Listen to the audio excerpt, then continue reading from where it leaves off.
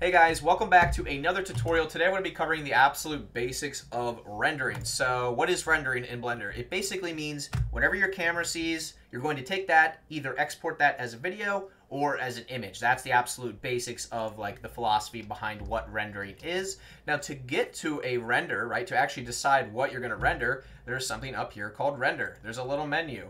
When you click that, you're going to get a bunch of different options. Just ignore the render audio for now. Um, render image and render animation are the two main things you're going to be focused on. So when you click one of those, Blender is going to say, okay, which camera is active, what are we looking at, and how in the world do we turn this into an image? That's basically what's happening behind the scenes. So if I was to click render image right now, Blender would say, oh, I see the cube. Okay, let's give you the image of the cube. That is exactly what the camera sees.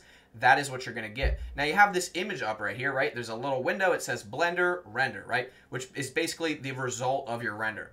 To save this image, you can click on this little image button right here and you're gonna get all these different options. I usually do like save as. I'll just select where I wanna save it. I'll just name it cube and then I'll click on save as image. And just like that, you have made your first render. Now let's say you have a little bit of movement in your scene. Just for the purposes of this tutorial, I'm just gonna give this a location keyframe, go to frame 20, move it over here, and insert another location keyframe. Now, if you guys play this back from frame 0 to 20, you can see our cube is moving. Now, I'm going to just show you a little bit more of an advanced part of rendering, which is like your output settings. So over here on the right, you're going to see this little button that looks like a printer. That is your output properties. Right here, you have your resolution. As you guys can see, when I adjust this, it's going to change the size of what the camera sees. That is the dimensions of your image. Now, under here where it says frame range, go ahead and click on that. You're going to see frame start and frame end. That is basically where your animation starts and where it stops. So when you click render animation, it's going to say, oh, from frame 1 to 250, that is what I'm going to turn into a video for you. That's what Blender is thinking right behind the scenes. In our case, I'm going to choose 20 for our end frame. And as you can see on the bottom here, this little timeline, if I zoom in, I'm scrolling to zoom in here. Um, 1 to 20 is where our animation is taking place. If I go ahead and pr press spacebar, you'll see that this is our animation right here. Now, at the moment, this is very, very basic, but I'm going to teach you guys how to export this. So if you guys go up to the top, render, and you click on render animation, this is actually going to go ahead and render this as a video. We don't want to do that. The reason we don't want to do that is because if for some reason our render fails midway through, we are pretty much screwed. So the reason I say that, guys, is if your render does not complete, you will not have a video. This is why I always export as a PNG sequence.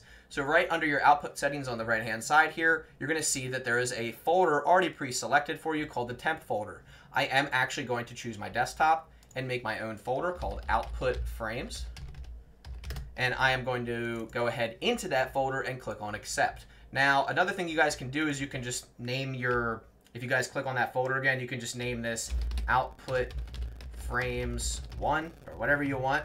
Click on accept. And then when you export this, right, when you go to render animation, Blender is now going to go through every single frame and export every single frame from 1 to 20.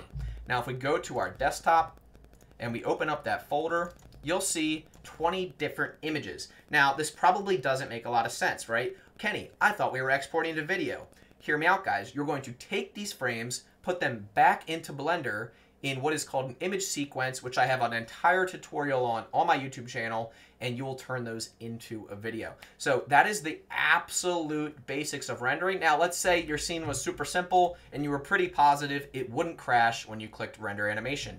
In that case, I will change my file format to um, pretty much any video format. Typically, people are using FFmpeg video.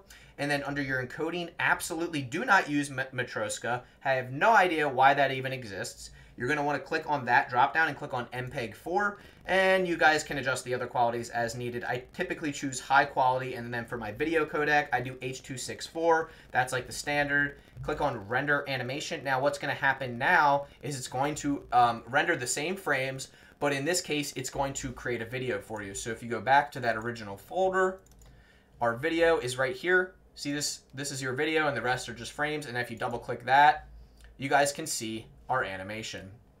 And it looks really, really good. The only last thing I'll go over really quickly is the frame rate. Which is right here. Right now we're at 24 frames a second. You guys can choose whatever you like. Um, a lot of people do 24 frames a second or 30, or if you want that really buttery, crispy, uh, smooth motion, you can do 60 frames a second. Um, just keep in mind when you do this, the more frames a second that you have, the longer it's going to take to render. So keep that in mind as you guys are creating your animations. That is the absolute basics of how you render out an image and how you render out an animation. I hope you guys enjoyed this tutorial. Have a great day. Drop any comments below if you guys have questions, and I will talk to you in the next tutorial.